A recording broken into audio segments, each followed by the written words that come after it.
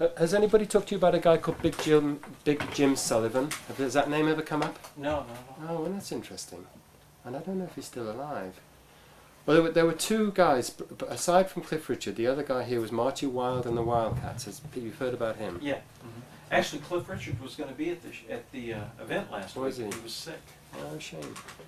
Um, well, Marty Wilde, the Wildcats, the guitarist was Big Jim Sullivan, and uh, and he was really the kind of father of British rock and roll guitarists. Everybody who ever played rock and roll in this country, sort of somewhere or other, they ran across him, and, and, and he was like a major guru figure for them all. And he would uh, he would be really interesting to know what he thought about Scotty. I mean, there's no question these guys. I remember sitting on a radio thing with, with Marty Wilde in the 70s, and we we how it came to be, I don't know why we were there. All I remember is we played trying to get to you, and both of us just like completely in awe of it all over again as we had been whenever we first heard it. And in some ways, that's possibly my favourite Scotty Moore guitar playing. You know, it's just an incredible guitar part from start to finish. Have you ever heard the original version of that song by the Eagles, a group called the Eagles? Nothing to do with the other Eagles. It's great. It's really interesting to hear. And uh, once again, one wonders if Scotty ever heard it. If he ever comes back on my show, I'll play it to him and see what he says. No, I, well, actually, he wants to come back to your show, but I had no idea there was another version. Yeah, yeah. There's a, there is there is the original version of the of that song, which I wrote, which I only got about a year ago. One of my listeners sent it to me. Holy cow!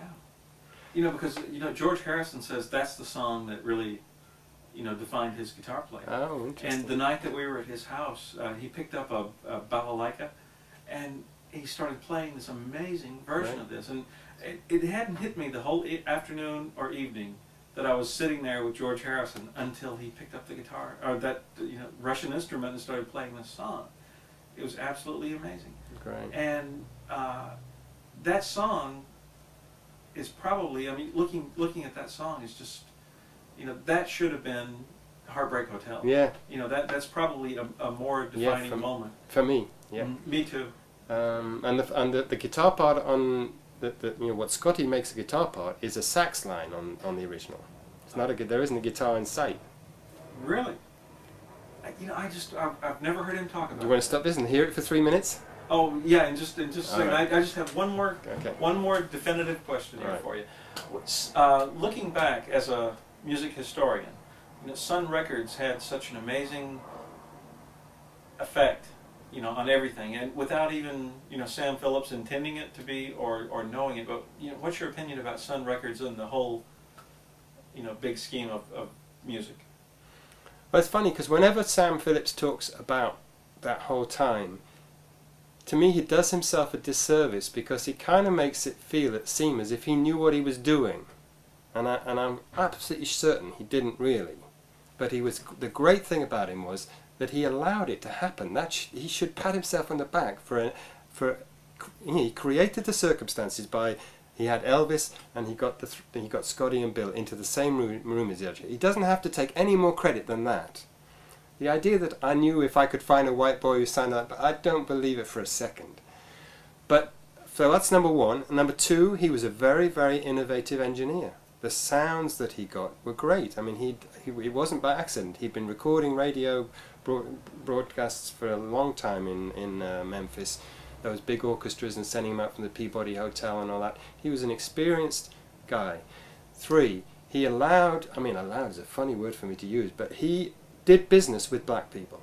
He's a white man in Memphis doing business with black people. He's saying to black musicians from this countryside around Memphis, if you, any of you want to come and make a record, here's my studio.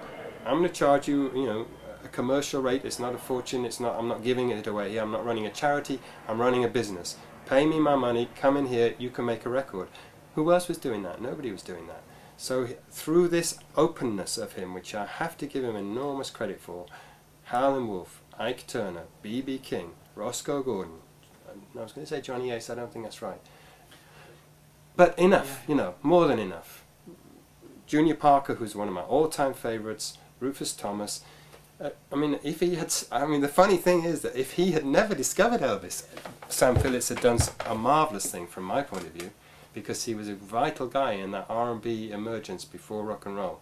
So then he does it all over again, and I mean, the, the joke is that apart from Elvis, And even with Elvis, he clearly had a lot of t- hard time knocking on the door and getting anybody to give him any time at all in there. And if Marion hadn't been there, who knows if it ever would have happened. Carl Perkins was being turned away. You know, Johnny Cash had. They all had. All they ever described is how hard it was to get Sam's attention. Mm-hmm. But one way or another, he was there. He, you know, and he was once again with Jack Clement to help him, a catalyst for some of the great records of of that era as well. But I just wish he would stop trying to tell everybody he did it on purpose.